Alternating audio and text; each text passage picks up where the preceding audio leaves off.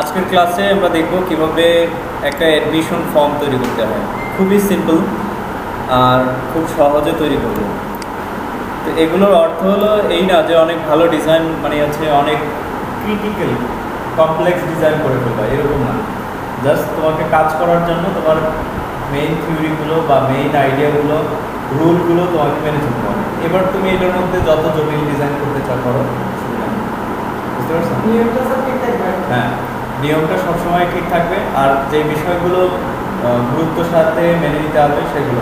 কারণ আমি অন্যরকম করে একটা ডিজাইন তৈরি করে দিলাম সেখানে প্রেস বা প্রিন্টার্সগুলোর যে নিয়ম নীতি আছে সেগুলো মানলাম না। তাহলে এটা তোমার যত ভালো ডিজাইনে হোক সেটা কোয়ালিফাইড হবে না কাজে আসবে এই জন্য নিয়ম মেনে চলে তারপরে যদি তুমি ভালো ডিজাইন করতে পারো ভালো আর যদি না করতে পারো তাইলেও তোমার ডিজাইনটা রিজেক্টেড হবে। বুঝতে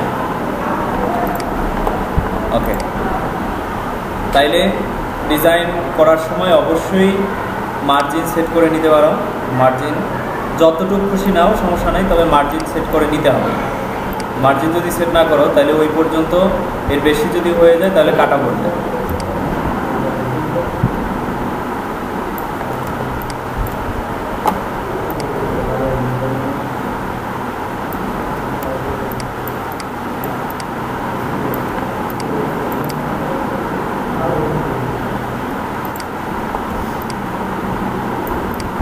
অ্যাডমিশন ফর্মের মধ্যে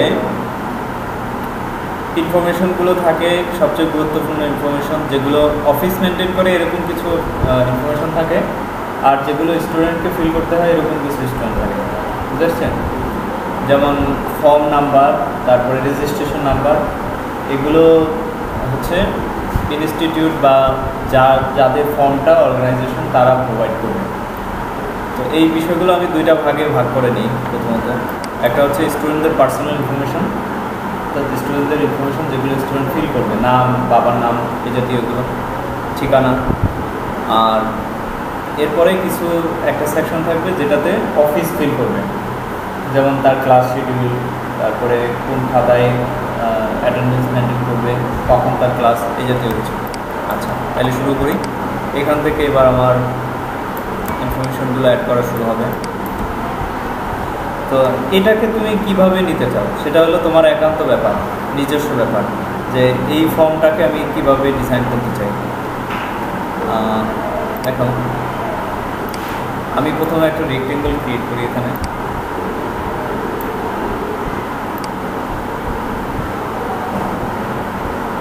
এরকম।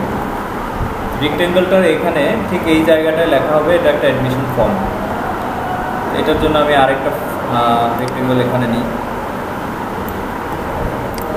এটা ঠিক মাঝখান বরাবর থাকবে এভাবে। দুইটাকে একসাথে সিলেক্ট করে সেন্টার করে নিই।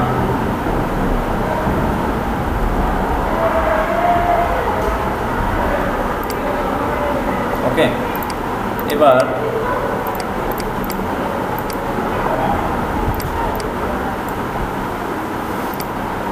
এখানে আমি লিখব এটা একটা অ্যাডমিশন ফর্ম সেটা লিখব।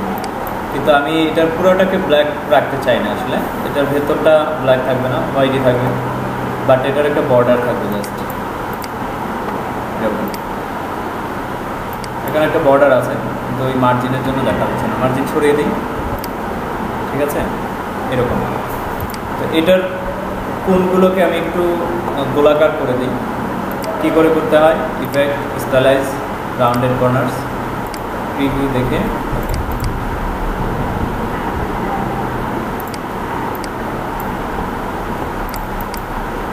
স্ট্রক টু কালারটাও চেঞ্জ হবে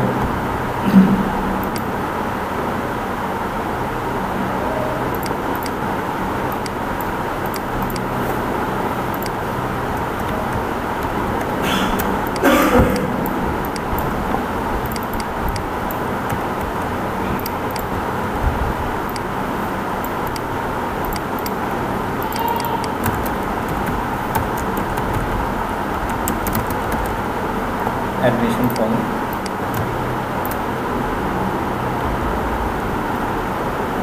ইচ্ছা করলে এটাকে সবগুলোকে বড় হাতেরও করা যায়।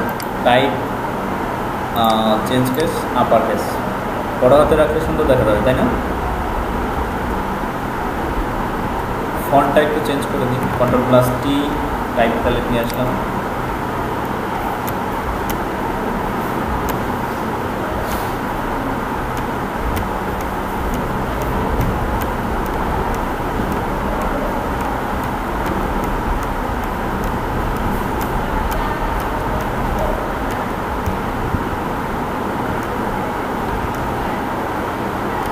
এটা ইউজ করতে পারি না ফন্টটা সুন্দর আছে কি বলো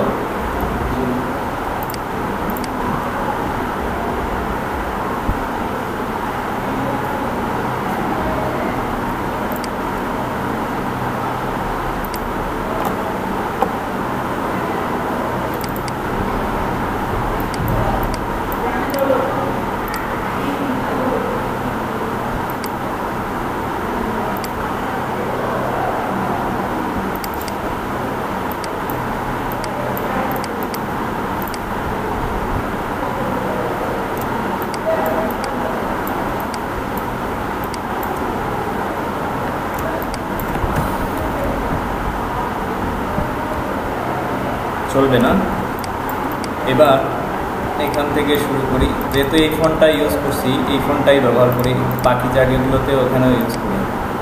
এখানে এটার ফন্ট সাইজ অনেক ছোট হবে।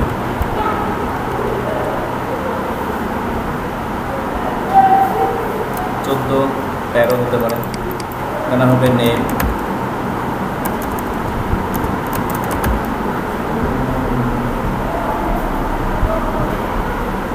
বেশি বাজে দেখা যাবে না।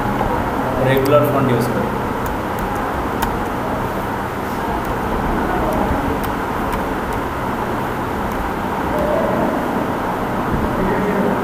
হ্যাঁ এটা এটা নেই এটা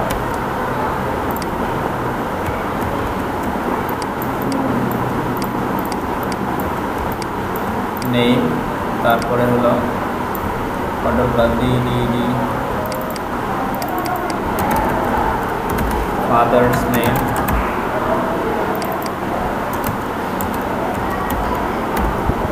mother's name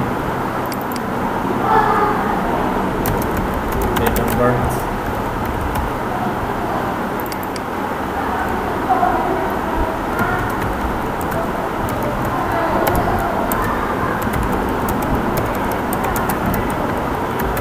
permanent address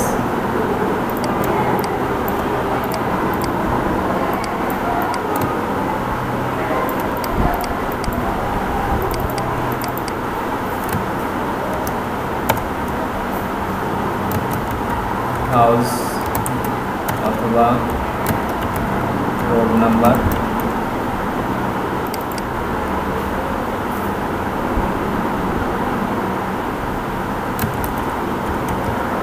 village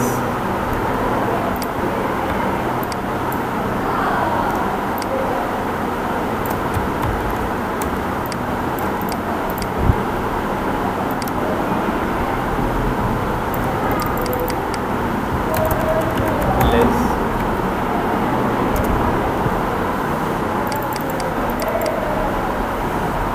তারপরে হলো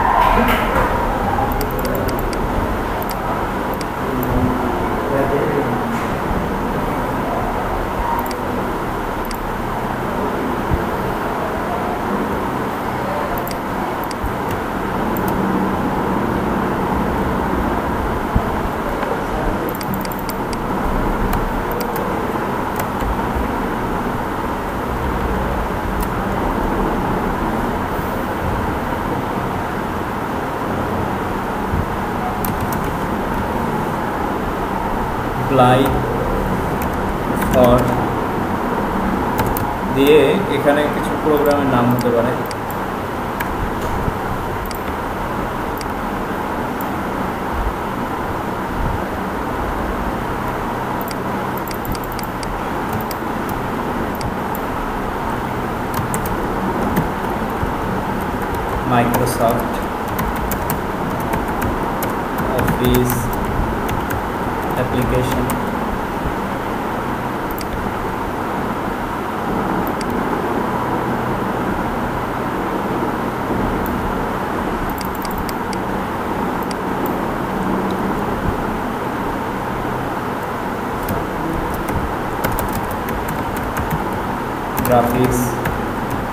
Design.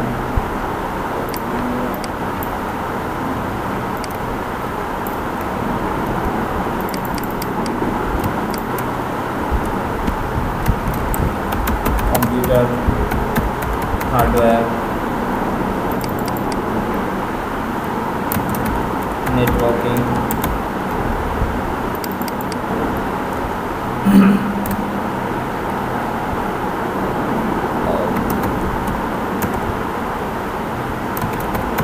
design apps development.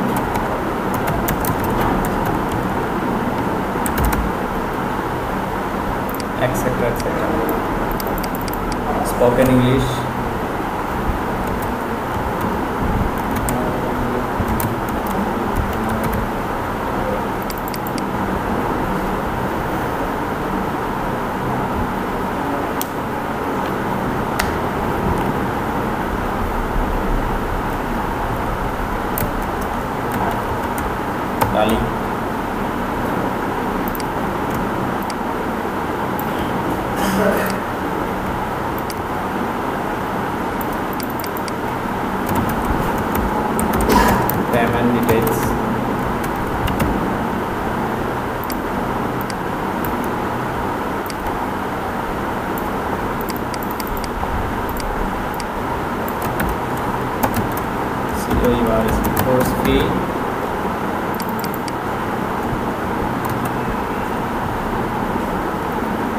foundation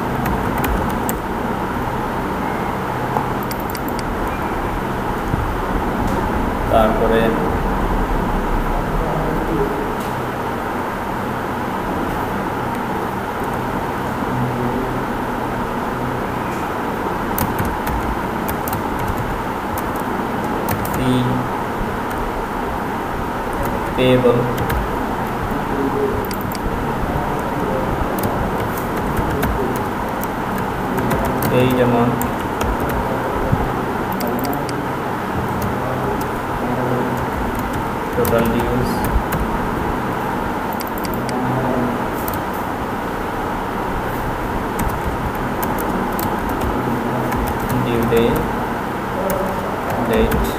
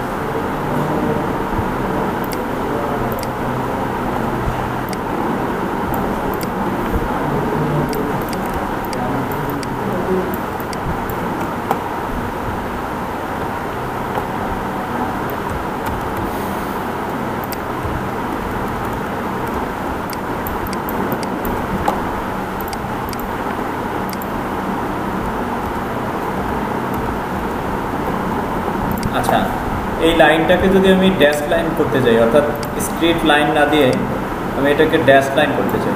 মানে ড্যাশ লাইন মানে হচ্ছে ফোটা ফোটা লাইন থাকবে। ঠিক আছে? পারো তোমরা করতে?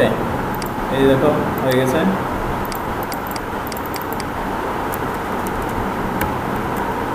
এখানে টিকমার্ক করে দিতে হবে। তারপরে এবার কতটুকু লাইন চাও, কতটুকু গ্যাপ সেটা এখান থেকে দিয়ে দিতে হবে। বুঝতে পারছ?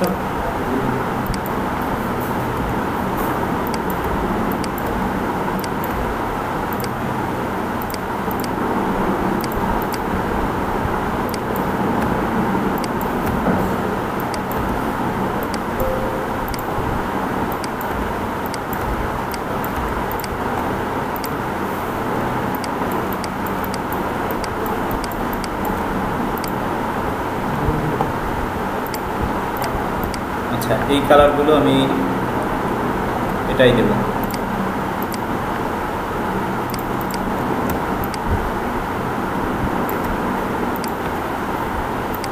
ফাদার্স নেম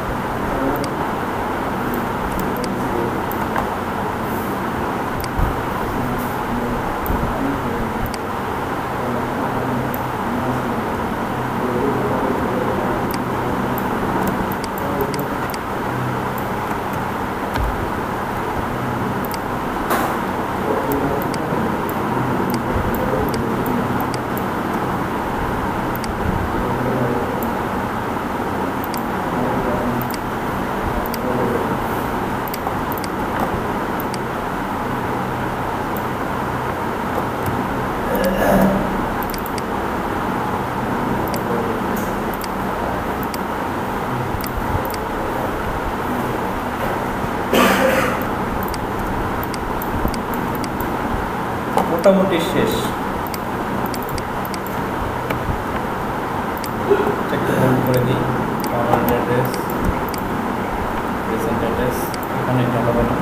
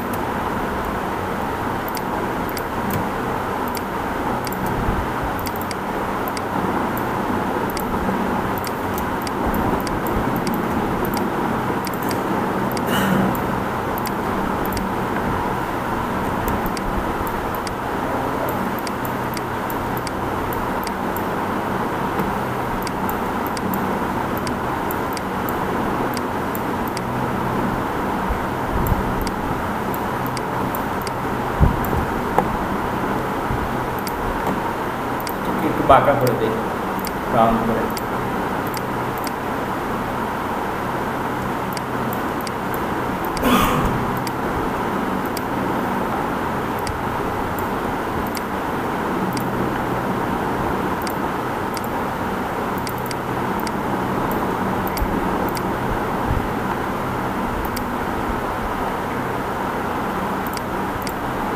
আচ্ছা রেড কালারটা খুব একটা ভালো দেখা যায়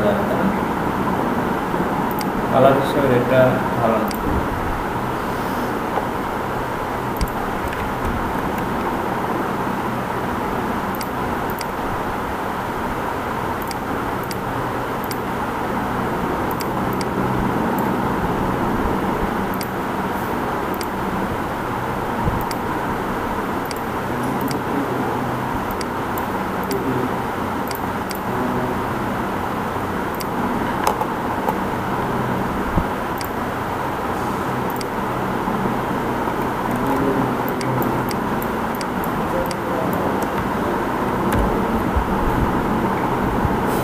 উম, দেখো, মোটামুটি একটা অ্যাডমিশন ফর্ম তৈরি হলো।